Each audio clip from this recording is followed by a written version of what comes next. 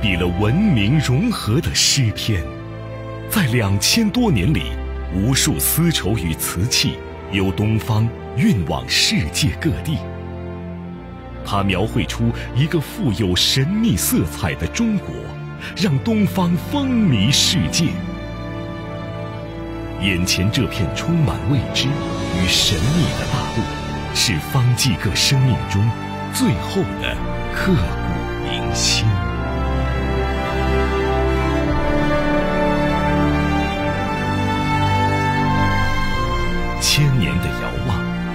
就千年的梦想；千年的奔波，牵挂千年的衷肠。台山人的心。早已随着江海奔流到天边，他们勇敢地突破农耕文明的束缚，向海的那一边迈出探索的步伐。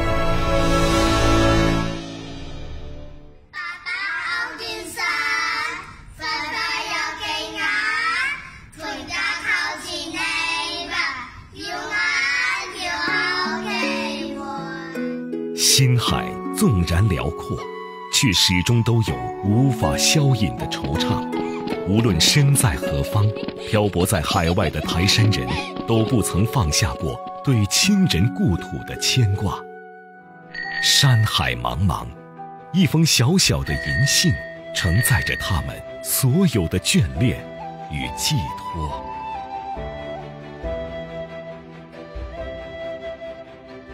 银，是生计。是家中父老的柴米油盐，信是乡愁，是妻子儿女的望眼欲穿。恍惚之间，是儿时记忆里的渔舟唱晚，迎着割舍不断的情感，涌上心头。桥虚是生活的赞美诗，流露出台山人对生活的热忱。桥虚。是幸福的许愿树，流露出台山人未来的期许。桥墟也承载了超越历史的商业文化精神。桥墟所折射出的，正是广府文化与华侨带回来的西方经济、建筑、文化和生活方式的碰撞与结合。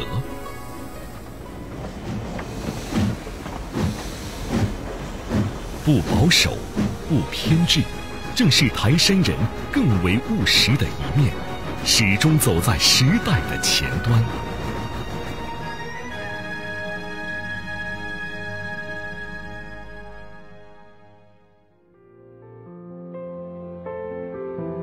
读书始终都是台山人的头等大事，在台山人看来，读书是诗意的生存，是温暖的体验。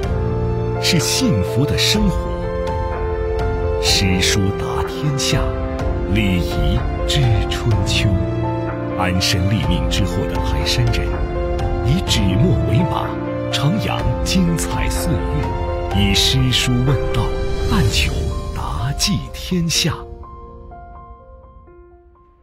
那字里行间有着广袤的世界和苍茫的宇宙。原来台山人。早早就懂得西学东渐的道理，台山子弟莫不以天下为己任，常念苍生之疾苦，不忘家国之荣辱。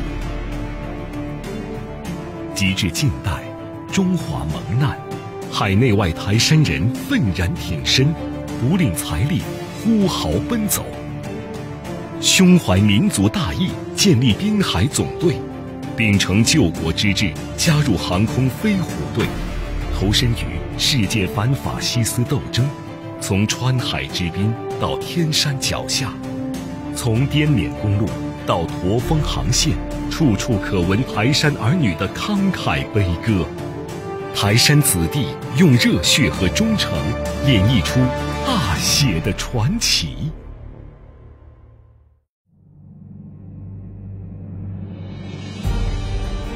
于山海之间，感受天地悠悠脉络。北风藏灵秀，碧波出芙蓉。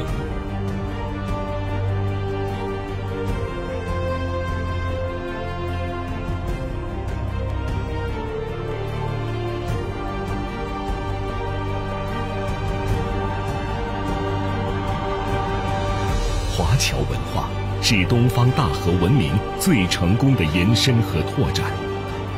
这里既有台山人对历史的尊重和对过往的传承，也有对他人的借鉴、对当下的适应和面向未来的调整。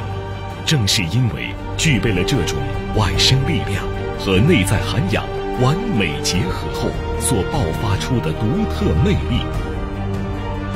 台山的八街九墓是文明融合的鬼斧神工，南亚的风情，美洲的粗犷，欧洲的雍容。青山碧水，鼓楼与星河，绘出这一方万物共赏的诗意美好。台山是珠江三角洲的田园牧歌，是造物者赐予人间最真挚的祝福。万亩良田里的河海倒浪，是致敬梦想的时光之作。凭借三纵三横的交通优势、丰沛的淡水资源、平整的土地储备和充足的电力资源，台山在工业文明时代充满活力，从而得以在不同的文明语境下都获得立足与发展。默默生长为举足轻重的中坚力量。伴随着“一带一路”倡议下新时代的崛起，这条古老的海上丝路是粤港澳大湾区承东启西的关键节点，焕发出新的内涵与外延。台山历经无数的沉淀和历练。又总是在寻求新的发展与蜕变，在时代的更迭中夺目而出。